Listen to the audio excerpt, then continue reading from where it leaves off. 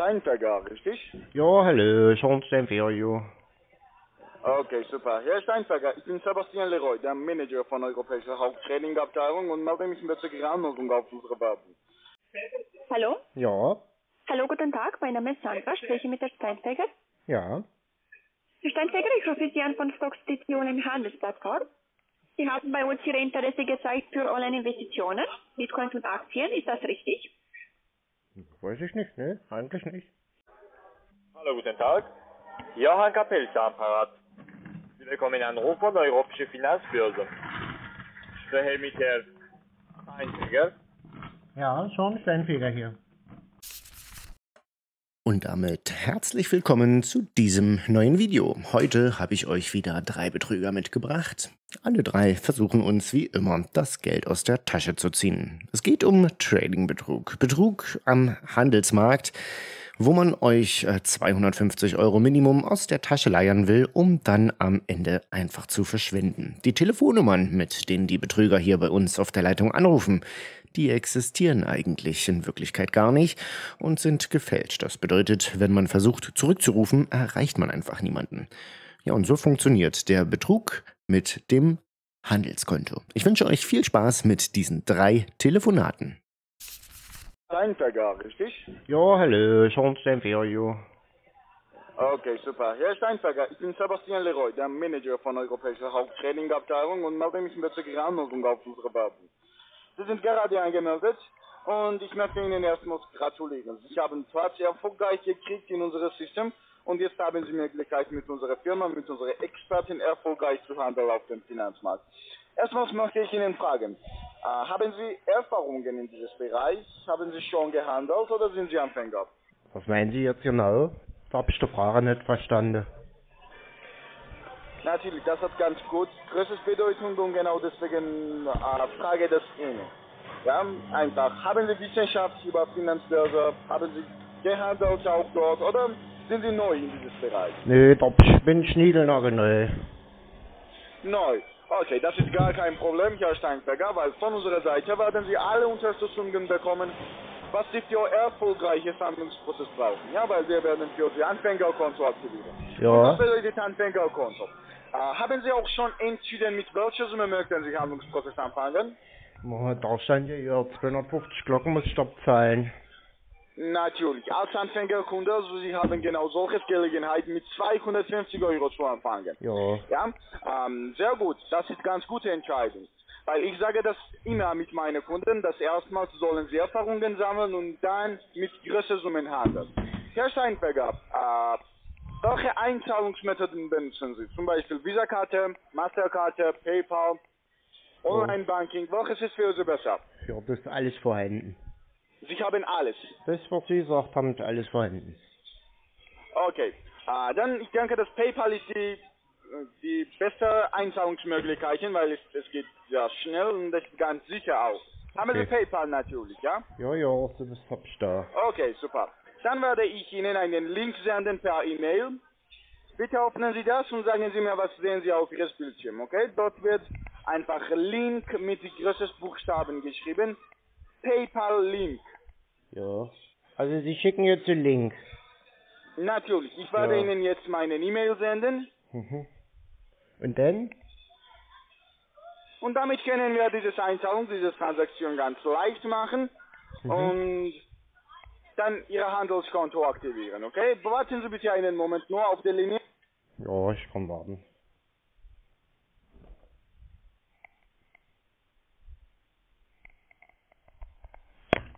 Herr Steinberger, welches Gerät benutzen Sie? Zum Beispiel jetzt, haben Sie Handy oder haben Sie PC? Na, jetzt telefonieren wir über Festnetz. Okay, und jetzt benutzen Sie PC, ja? Noch, wenn ich machen Für soll. E-Mail zum Beispiel. Ja, dann nehme ich Computer. Okay, einen Moment.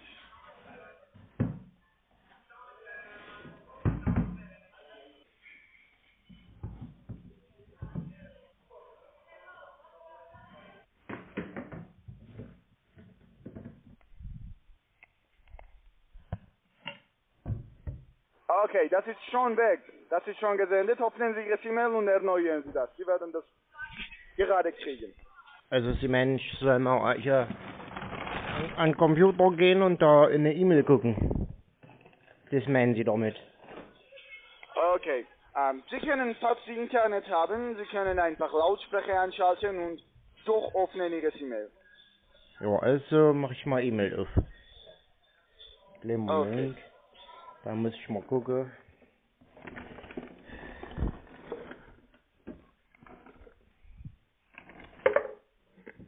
An welche E-Mail-Adresse haben Sie das geschickt? Ah, das ist gesendet über scharfensteinberger.gmail.com. Schornsteinfeger, äh, at gmail.com, ja. Okay. Ich denke, dass ich habe das schon gekriegt. Öffnen Sie das? Ja, ich gucke grad. Es ist von Sebastian Leroy und ist PayPal geschrieben, mit größeren Buchstaben.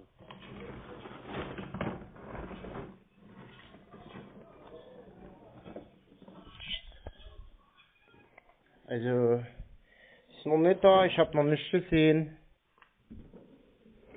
Haben Sie das wirklich geschickt?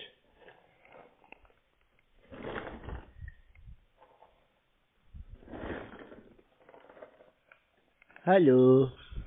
Haben Sie gekriegt? Ja, ich habe gesagt, es ist noch nicht da. Das, das ist irgendwie nicht gekommen. Okay, öffnen Sie das und sagen Sie mir, was sehen Sie auf Ihres Bildschirm. Noch nix. Was bedeutet nichts? Na, hab ich doch gesagt, es ist nicht gekommen. Okay, was sehen Sie jetzt auf Ihres Bildschirm? Ja, mein Google-Mail-Passwort. Okay, haben Sie meinen E-Mail gefunden und geöffnet? Na, hab ich doch gesagt. Okay, und was ist, was steht in meinen E-Mail? Ja, nix, ist ja nicht gekommen. Okay, ah, dann Herr Steinberger, ich werde Ihnen in, in fünf Minuten wieder anrufen und wir können das einfach, ich denke, dass, dann werden Sie das kriegen, okay? Oder äh, benutzen Sie WhatsApp auch? Ja, WhatsApp hab ich auch. Okay, dann warten Sie bitte einen Moment, ich werde Ihnen per WhatsApp melden und wir können dann weiter kontaktieren, weil ich denke, dass ich habe ein Verbindungsproblem, weil, weil wir telefonieren jetzt. Was? Ich hab das akustisch nicht verstanden. Herr Steinberger, sind Sie unterwegs jetzt, ja? Nee, ich bin zu Hause. Okay. Und Sie? Hallo. Okay, äh, Herr Steinberger, einen Moment. Ja, ich kann warten.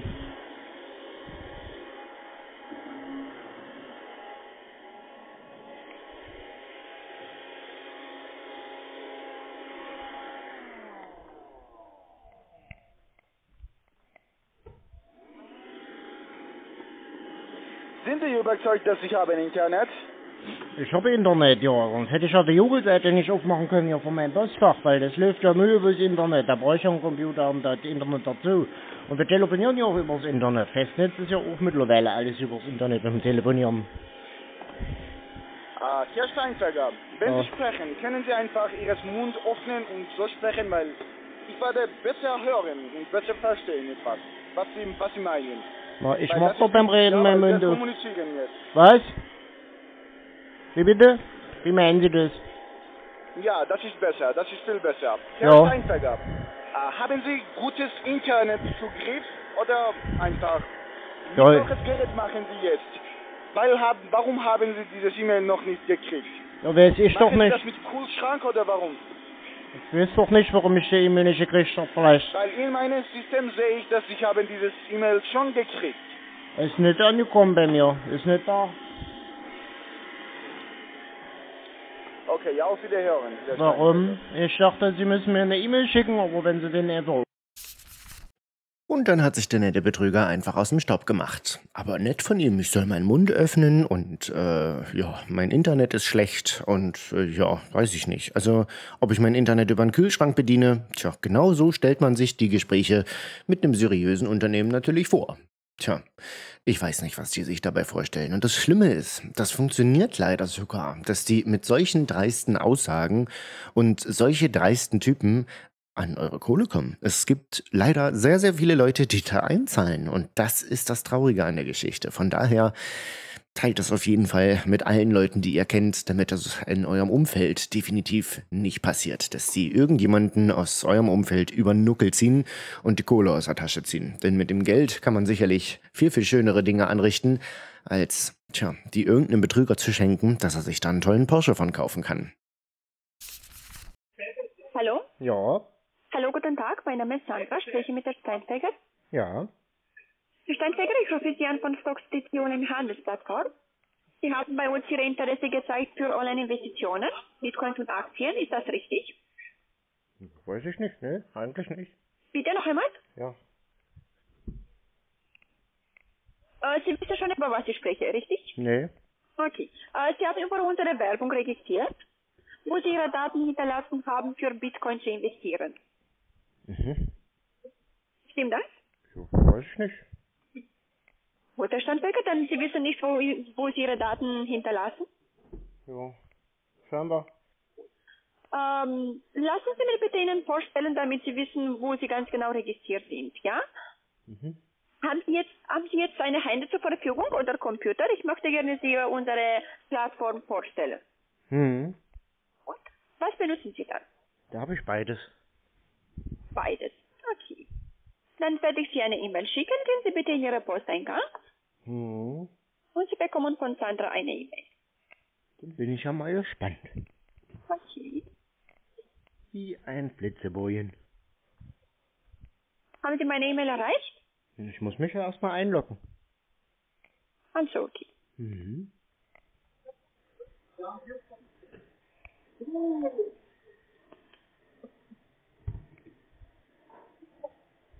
Wenn Sie bereit sind, sagen Sie mir bitte Bescheid. Was? Wenn Sie bereit sind, sagen Sie mir bitte Bescheid. Ach so. Hm.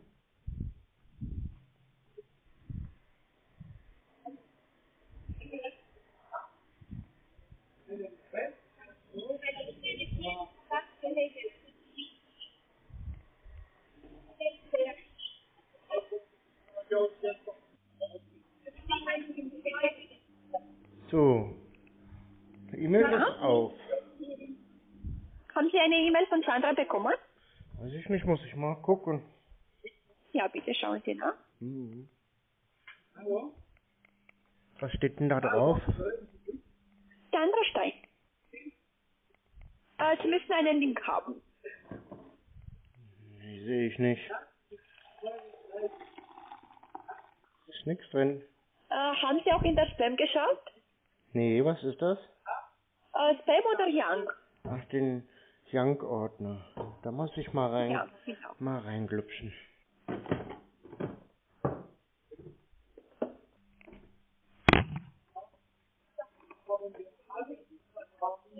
Darf ich wissen, wie lautet Ihre E-Mail-Adresse? Wie meinen Sie? Ihre E-Mail-Adresse, wie lautet? Na, na schon, Punkt Steinfeger und dann äh, at äh, mehrdccfun.de. Okay, ich hatte eine falsche E-Mail-Adresse bei mir. Ist das gleiche, was Sie gesagt haben.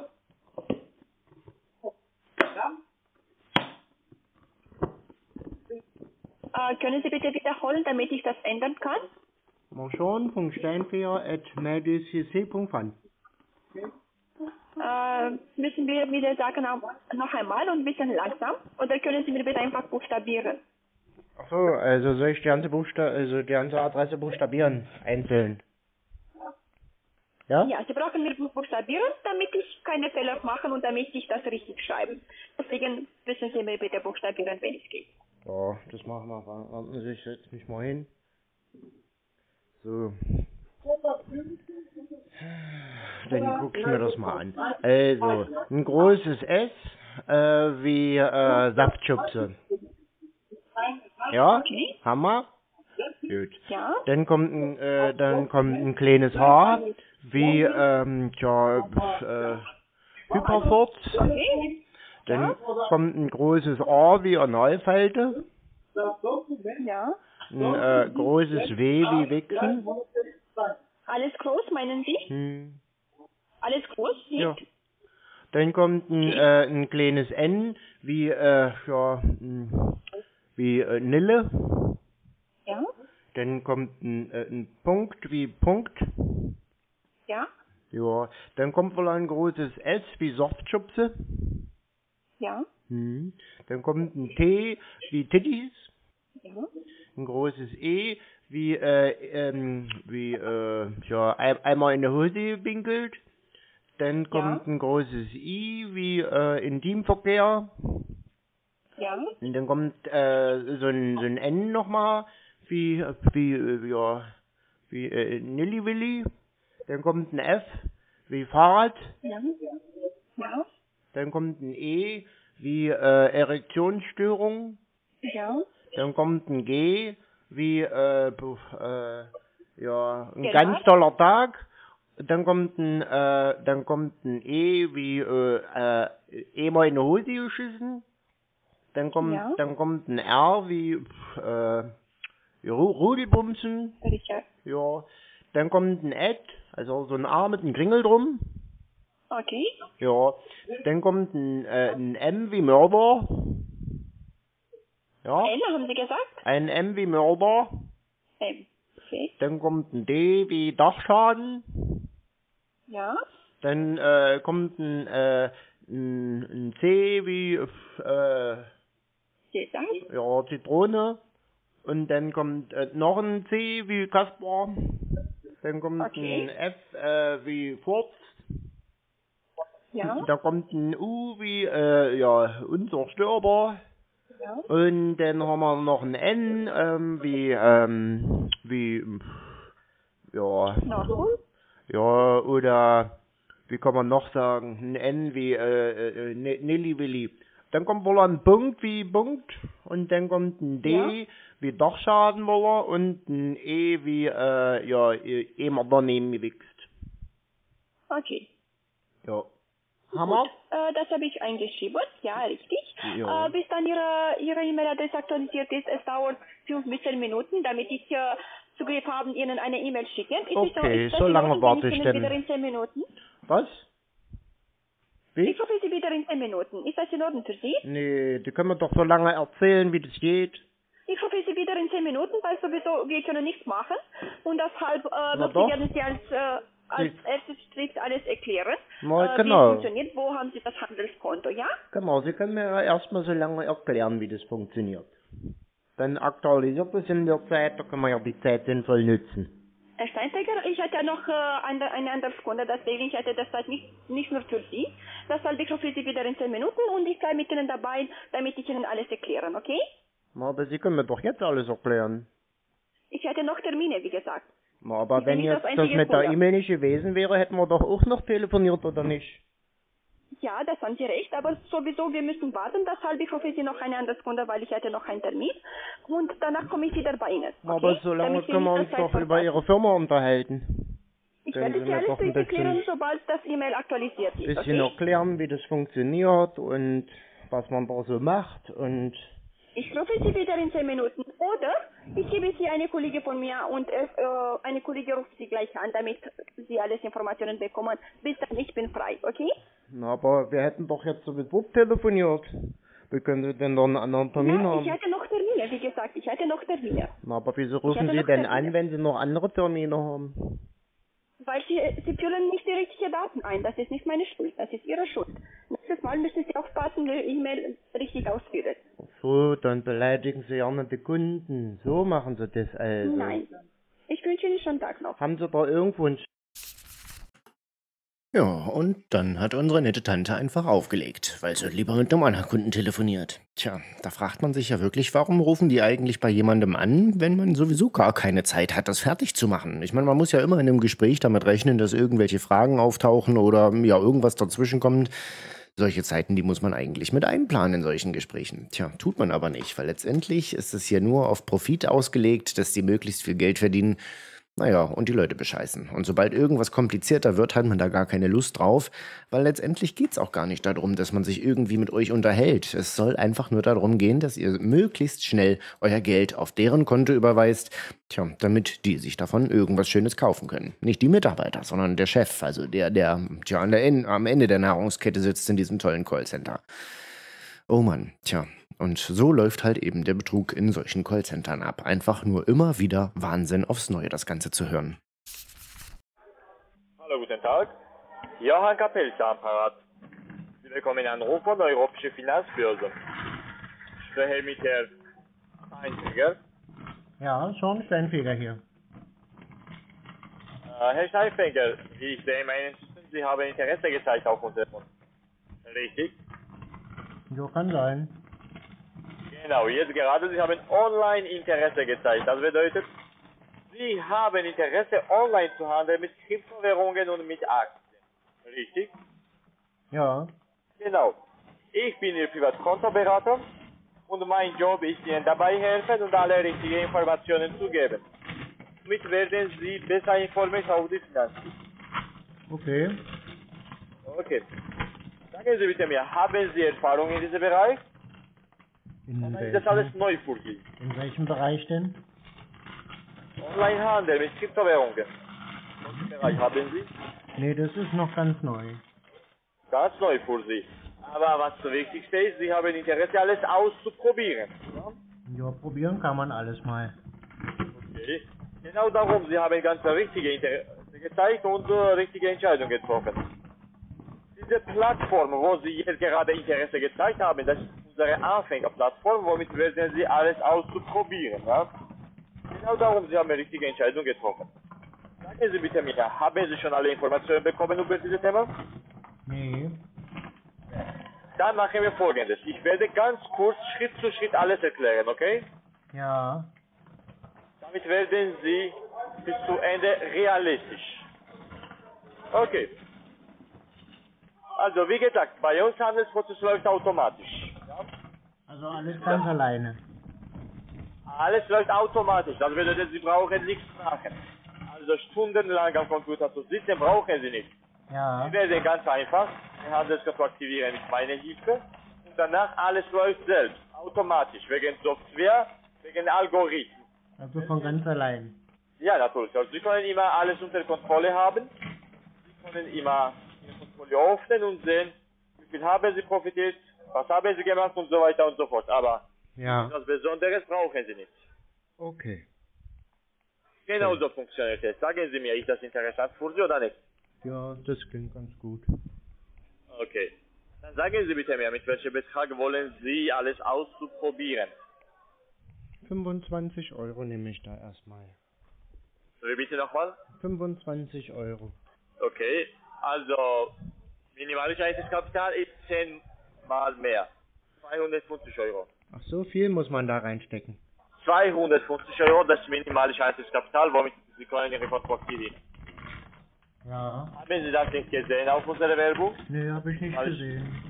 Okay, das ist kein Problem. Wichtige Sache ist das, dieses Geld, was Sie investieren, ja, das bleibt unter Ihrer Kontrolle die ganze Zeit. Sie werden dieses Geld nicht bezahlen, ja, sondern Sie werden das investieren. Ja. Sie Unterschied? Verstehen Sie Unterschied, was ist Bezahlung und äh, für Investierung? Nee. Also, bezahlen, dass, dass Sie bezahlen irgendwelche Summe für irgendwas, aber investieren, dass Sie investieren Ihr Geld und dieses Geld bleibt bei Ihnen, ja, unter Ihrer Kontrolle die ganze Zeit. Dieses Geld, wir, äh, mit diesem Geld, wir werden für Sie Positionen öffnen und diese Positionen ist für Sie interessant, deswegen damit werden Sie profitieren, ja. Aber dieses Geld, Sie werden nicht jemandem geben, sondern dieses Geld bleibt unter Ihrer Kontrolle die ganze Zeit, wie ich gesagt habe schon, ja. Okay. Okay. Genau so funktioniert es. Toll. 250 Euro. Mhm. Sie, Sie werden damit Ihr Konto aktivieren. Richtig?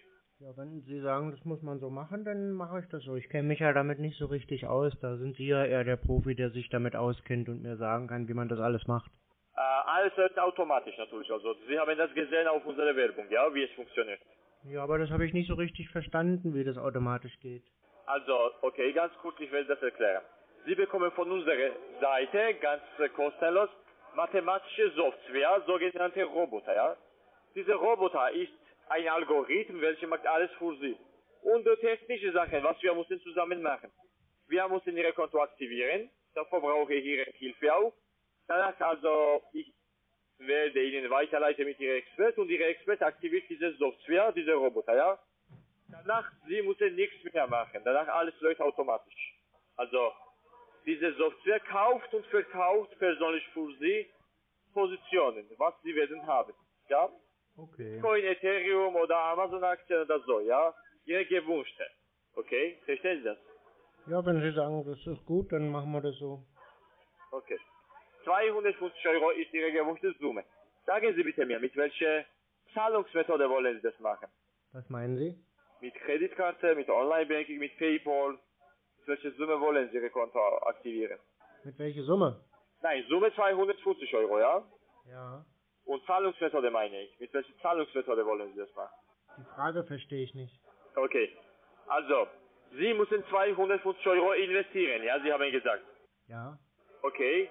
Mit welcher Karte werden Sie das machen? Ach so, mit irgendeiner Karte. Weiß ich nicht, was soll ich denn da nehmen? Zum Beispiel Kreditkarte haben Sie, Online-Banking, PayPal. Ja, Kreditkarte habe ich eine American Express. Okay. Haben Sie PayPal? Normalerweise unsere Kunden machen Transaktionen mit PayPal. Nee, kann ich aber schnell machen, wenn Sie das möchten. Dann gehe ich mal schnell auf die PayPal-Webseite und dann mache ich da mal bei PayPal so ein Konto.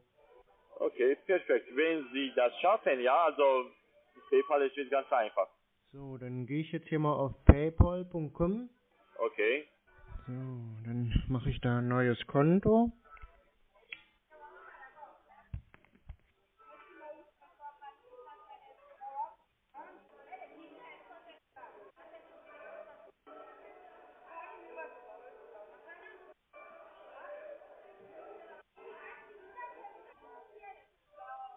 Okay. Äh, wenn Sie schaffen, dann sagen Sie bitte mir, okay?